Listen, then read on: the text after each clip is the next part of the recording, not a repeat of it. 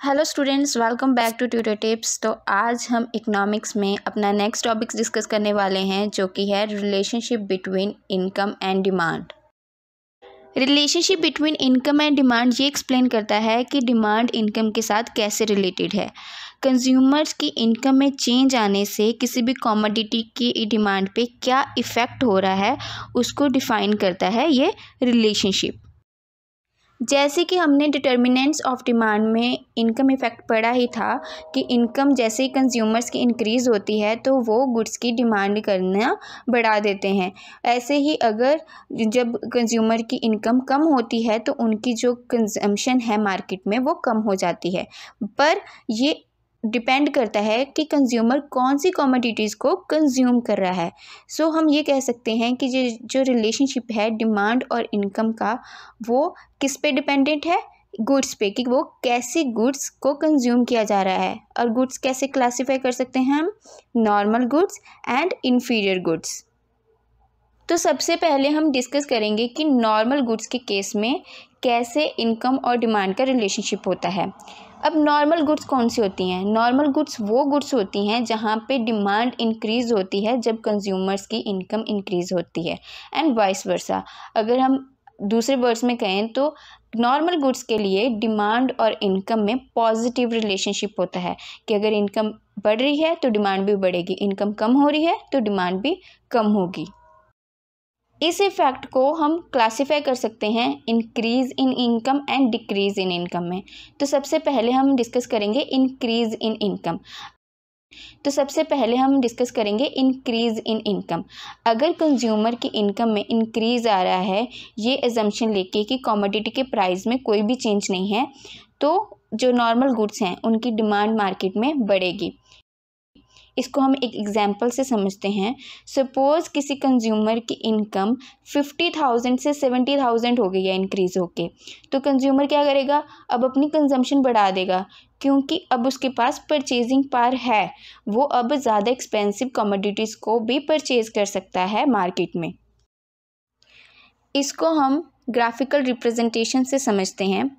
यहाँ पे हम एक्स एक्सिस पे एलसीडी टेलीविज़न्स की डिमांड को रिप्रेजेंट कर रहे हैं, जिसको कि हम एक एक्सपेंसिव गुड मान रहे हैं एंड वाई एक्सिस पे उसका प्राइस जो कि है फिफ्टीन थाउज़ेंड कॉन्स्टेंट अब जब कंज्यूमर की इनकम फिफ्टी थाउज़ेंड है मार्केट में तो मार्केट डिमांड कितनी है? वन फिफ्टी यूनिट्स अब जब कंज्यूमर्स की इनकम इंक्रीज़ होकर फिफ्टी थाउज़ेंड से सेवेंटी थाउज़ेंड होगी एक पर्टिकुलर इनकम ग्रुप वालों की तो अब उनकी परचेजिंग भी बढ़ जाएगी। तो इससे क्या होगा कि मार्केट में जो एलसीडी की डिमांड है वो वन फिफ्टी यूनिट से बढ़ के टू हंड्रेड यूनिट्स हो जाएगी। इससे जो हमारा डिमांड कब है वो डी वन से डी टू की ओर शिफ्ट कर जाएगा। In other words, it results in forward shift in the demand curve at a constant price of 15,000. तो ये हमारा ग्राफ क्या रिप्रेजेंट कर रहा है कि जब भी हमारे नॉर्मल गुड्स के केस में कंज्यूमर की इनकम इंक्रीज़ होती है तो उससे हम उस गुड्स की जो डिमांड है वो भी बढ़ती है। There is a positive relation between demand and income अब हम सेकेंड केस डिस्कस करते हैं नॉर्मल गुड्स का कि जब कंज्यूमर की इनकम डिक्रीज़ होती है। जब कभी भी कंज्यूमर की मार्केट में इनकम डिक्रीज़ होती है, ये एजम्पन के साथ कि कॉमोडिटी का प्राइस कांस्टेंट ही है तो जो उसकी डिमांड है नॉर्मल गुड की मार्केट में, वो भी डिक्रीज़ होती है। सपोज़ कंज्यूमर की इनकम सेवेंटी थाउज़ेंड से डिक्रीज़ होकर फिफ्टी थाउज़ेंड हो गई है अब कंज्यूमर क्या करेंगे? अपनी कंजम्पशन को कम कर देंगे क्योंकि अब उनके पास इतनी परचेजिंग पार ही नहीं है कि वो एक्सपेंसिव कमोडिटीज़ को ख़रीद सकें, जैसे कि एलसीडी ब्रांडेड क्लोथ्स और एक्सपेंसिव हाउसेस एक्सेट्रा इसको हम ग्राफिकल रिप्रेजेंटेशन से समझते हैं। एक्स एक्सिस पे हम एलसीडी टेलीविजन्स की डिमांड को रिप्रेजेंट करेंगे और वाई एक्सिस पे प्राइस को, जो कि है फिफ्टीन थाउज़ेंड कांस्टेंट अब जब कंज्यूमर्स की मार्केट में इनकम सेवेंटी थाउज़ेंड थी। तो उनकी इनिशियल डिमांड कितनी थी? Two hundred units at a constant price of fifteen thousand जो कि ए पॉइंट रिप्रेजेंट कर रहा है। अब जब कंज्यूमर्स की मार्केट में इनकम सेवेंटी थाउज़ेंड से फिफ्टी थाउज़ेंड रह जाती है तो ऑब्वियसली वो अब कम ख़रीदना शुरू कर देंगे। अब बहुत कम कंज्यूमर्स होंगे जो एलसीडी टेलीविज़न्स को परचेज़ करने परचेज़ कर सकते हैं या अफोर्ड कर सकते हैं। तो उससे क्या होगा, जो एलसीडी टेलीविज़न्स की डिमांड है, वो श्रिंक होकर वन फिफ्टी यूनिट्स रह जाएगी। तो डिमांड कब और डिमांड कब डी वन से डी टू की ओर शिफ्ट कर जाएगा।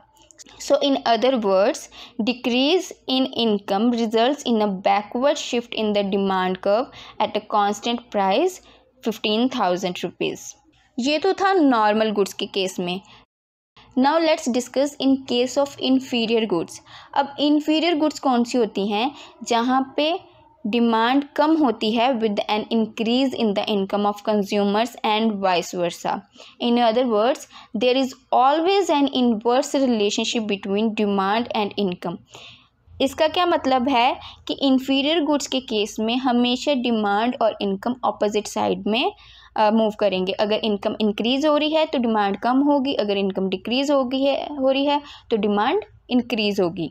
इसको भी हम दो केसेस में डिस्कस uh, करेंगे। First is increase in income and second is decrease in income so now let's discuss the first case that is increase in income so now let's discuss the first case that is increase in income जब consumer की income market में increase होती है with an assumption की commodity का price जो है वो कांस्टेंट है तो इन्फीरियर गुड्स की डिमांड जो है वो डिक्रीज़ हो जाती है क्यों क्योंकि कंज्यूमर्स अब बेटर और सुपीरियर सब्सटीट्यूट की ओर शिफ्ट करते हैं, क्योंकि अब वो उनको अफोर्ड कर सकते हैं। और जो इन्फीरियर गुड है, उसकी परचेजिंग कम हो जाती है। अब क्योंकि उसकी परचेजिंग कम हो रही है तो उससे डिमांड को बैकवर्ड की ओर शिफ्ट करता है, जो ये बताता है कि डिमांड डिक्रीज़ हो रही है। इसको हम एक एग्ज़ाम्पल से समझते हैं।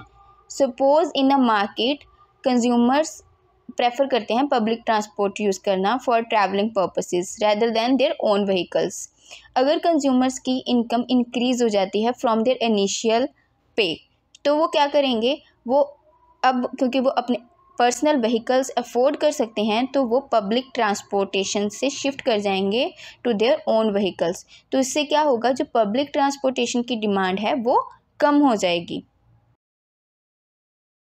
इसको हम ग्राफिकल रिप्रेजेंटेशन से समझते हैं। यहाँ पे एक्स एक्सिस पे हम पब्लिक ट्रांसपोर्टेशन की डिमांड को रिप्रेजेंट कर रहे हैं और वाई एक्सिस पे प्राइस को जो कंज्यूमर्स पे कर रहे हैं उसके against for a specific distance जब कंज्यूमर्स की इनकम इनिशियल है दैट इज़ फिफ्टी थाउज़ेंड तो वो टू हंड्रेड यूनिट्स को डिमांड कर रहे हैं against the price paying two fifty rupees अब जब कंज्यूमर्स की इनकम इंक्रीज़ हो जाती है fifty thousand to some extent कि वो अब अपने जो पर्सनल व्हीकल्स है, उनको अफोर्ड कर सकते हैं फॉर दैट स्पेसिफिक डिस्टेंस तो उससे क्या होगा? पब्लिक ट्रांसपोर्टेशन की डिमांड कम हो जाएगी, जो कि टू हंड्रेड से वन फिफ्टी हो गई है। तो एज अ रिज़ल्ट डिमांड कब जो है, वो लेफ़्ट की ओर शिफ्ट कर जाएगा from D one to D two now, let's discuss the second case where the income decreases. अब सपोज़ कंज्यूमर्स की इनकम मार्केट में डिक्रीज़ हो गई है विद एन एजम्पन की प्राइस ऑफ़ कमोडिटी तो कांस्टेंट है। तो इससे क्या होगा? इन्फीरियर गुड्स की जो क्वांटिटी डिमांडेड है वो इंक्रीज़ हो जाएगी। क्यों? क्योंकि अब कंज्यूमर जो बेटर और सुपीरियर सब्सटीट्यूट को कंज्यूम कर रहे हैं, कर रहे थे, वो अब कम कर देंगे क्योंकि उनके पास परचेजिंग पार इतनी बची नहीं कि वो उनको अफोर्ड कर सकें। तो इस और उसकी जगह पे वो इन्फीरियर गुड्स को परचेज करना शुरू कर देंगे। So therefore the more purchasing of a commodity at a constant price shift the demand curve to forwards सो उससे क्या होगा? इंक्रीज होगी डिमांड जो इन्फीरियर गुड्स हैं उनकी।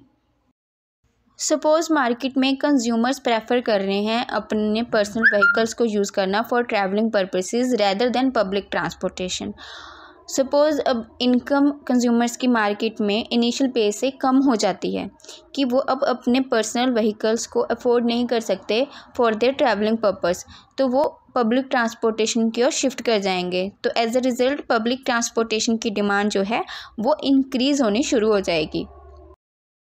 इसको हम ग्राफिकल रिप्रेजेंटेशन से समझते हैं। सपोज़ यहाँ पे हम एक्स एक्सिस पे पब्लिक ट्रांसपोर्टेशन को रिप्रेजेंट कर रहे हैं, जो कि हम इन्फीरियर गुड मान रहे हैं, और वाई एक्सिस पे प्राइस जो कि कंज्यूमर पे कर रहे हैं अगेंस्ट अ स्पेसिफिक डिस्टेंस अब जब कंज्यूमर्स की इनकम इनिशियल है दैट इज़ सेवेंटी थाउज़ेंड तो कंज्यूमर सिर्फ़ वन फिफ्टी यूनिट्स को डिमांड कर रहे हैं at a fare of rupees two fifty for that specific distance अब सपोज़ इनकम जो है कंज्यूमर्स की, वो सेवेंटी थाउज़ेंड से कम हो जाती है। इतनी कम कि अब वो अपने पर्सनल व्हीकल्स को अफोर्ड नहीं कर सकते फॉर दैट पर्टिकुलर डिस्टेंस तो वो पब्लिक ट्रांसपोर्टेशन की ओर शिफ्ट करेंगे। अब कंजम्पशन पब्लिक ट्रांसपोर्टेशन की बढ़ा देंगे। अब जब पब्लिक ट्रांसपोर्टेशन की कंजम्पशन बढ़ेगी तो उससे जो डिमांड है, वो वन फिफ्टी यूनिट से इंक्रीज़ होकर टू हंड्रेड यूनिट्स हो जाएगी। सो एज ए रिज़ल्ट जो डिमांड कब है, वो डी वन से डी टू की ओर, या राइट की ओर शिफ्ट कर जाएगा। तो हमने ये तो डिस्कस कर लिया कि नॉर्मल गुड्स कौन सी होती हैं और इन्फीरियर गुड्स कौन सी होती हैं।